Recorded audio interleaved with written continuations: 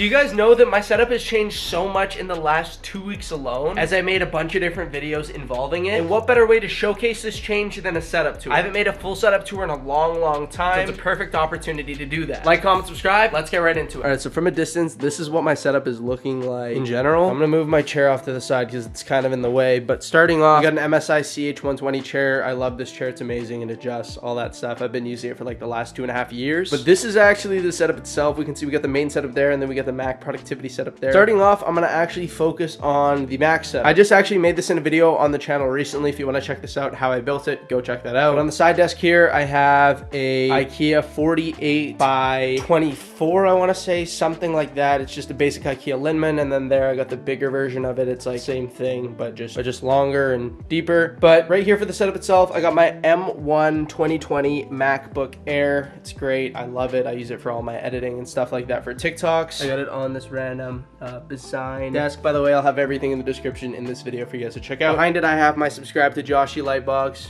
right there. And then the monitor right here is a random Acer 75 hertz. And uh, like I said, if you guys want to see this more in depth, go check out that video. It'll be in the description. RK61 RGB keyboard, like you guys can see right there. And I really like that keyboard. I've had this one for the longest time out of all my keyboards. And connecting the Mac to my other display is a Silkland uh, USB Type-C to DisplayPort cable. It goes around to the monitor, and that's that. Now the main setup itself, I know cable management is messy. I got a setup revamp coming very, very soon. And trust me when I say this, cable management's gonna be the first first thing that gets acknowledged in that setup. So the setup itself is powered by this insane beast of a PC that Starforge had actually put together, custom Joshyy PC. With the custom Starforge branding like you guys can see, it looks amazing. I love it so much. If you guys want to check out that review, go check that out at the top of the description. And this thing is insane. It has like an RTX 4090, Intel i7 13700K, 32 gigabytes of RAM, and so much RGB. Let me quickly open it up for you guys just so you can see. So the case opens up literally just like this, and inside this thing looks absolutely crazy. Like the amount of RGB in it is insane. We got RGB fans at the front uh, too. That's pretty much that. I use that for all of my content, my editing, that kind of stuff for my main channel stuff. And then at the top, I actually have this USB type C hub plugged in. I actually take the card from my camera and I plug it into here. And that is how I download all my footage from like my setup videos, all that stuff that I use the camera I'm using right now. So after this video, I'm gonna take the SD card, put it in the slot there, and that just allows me to easily transfer the files from my camera to my PC directly. Now I'm gonna go behind the PC for sec. I don't know if you guys can see that, but I got a Behringer UMC22, I believe. It's the audio interface that I use for my microphone. So I actually just have a wire connecting to that, and then that connects to my computer. That allows me to control like the dial, gives it power, all that kind of stuff. And then I have a little cable box right there to hide some cables. I made an attempt to before, but honestly, like I kind of gave up. Now coming to my displays, I have a dual monitor setup, hoping to upgrade to triple. I kind of want to get another one up there, and then I would move that one up. So then it would kind of be like one, two, three, if that makes sense. But my main monitor is a Samsung 27 inch, I believe, 240 hertz. That's my main one. I use that for all my gaming, my main screen display and all that. My other one is a 144 hertz uh, MSI. I don't know if you can see the model right there. Optix Mag 27C. And you can see that I have it vertically mounted there. Now coming to my desk, the peripherals I have the RK84 here, limited edition uh, from Royal Kludge. Let me quickly flip that over so you guys can see. Right there, RK84. And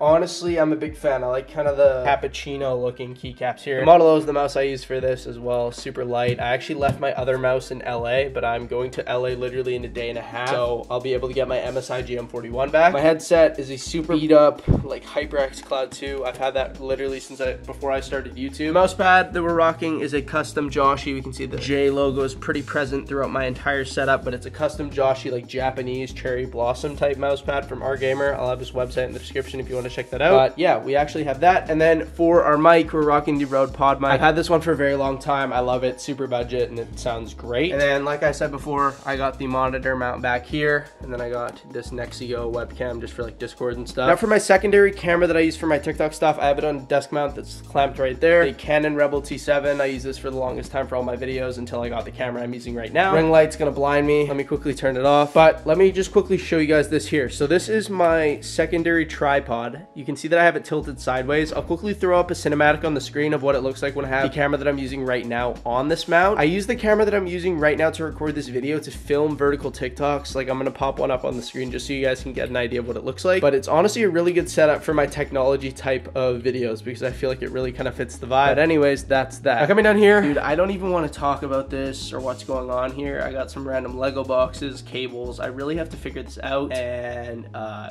yeah, so that's kind of disgusting and disappointing. Coming down over here, you guys can see I got an RGB floodlight on the ground. I've advocated for these so much in the last little bit. They are from Amazon. They're great. They're amazing. I love them so much. You buy two pack of them for literally like 30 bucks. And they really improve the ambient lighting in your setup. Now coming to the cable box down here, there's so many wires down in here. Literally for I don't even know what. I got my PC plugged in there. I got the lights plugged in there. I have a Philips Hue thing set up in there for when I attach my light bars again. And you guys can also see that I got a RGB strip going along the bottom of the desk there for additional ambient light. Now the way that I get my Wi-Fi, a lot of people have asked me because they've been wondering what this is, but it's actually called a power line adapter. So what this does, I'll quickly throw up a stupid diagram on the screen, but I have one of these upstairs right beside my modem and it's hardwired to the modem itself. And then I have another one of these plugged down here and this wire runs from there to my computer. So they connect and transfer the internet signal through like electricity, which is like kind of a weird concept, but it works and I'm not complaining. So that's pretty much how that works. Under here, I have a cable management rack. I don't know if you guys saw that before. I haven't really been using it, but I will be using it soon. Can't tell you how long I've been saying that, but trust me, I will soon. Now also, random stuff. Like I said, I am traveling, so I'm kind of figuring out my setup and what I want to bring because I have to bring some stuff to record some content down there because I'm doing some business stuff. I got so many different things here, dude. I got water bottles, I got old packaging, got an Amazon thing for a review down in there. And then also, I forgot about this. I actually have something super cool. I have like this built-in um, wireless charger on my desk. And all I have to do is I can literally just put my phone down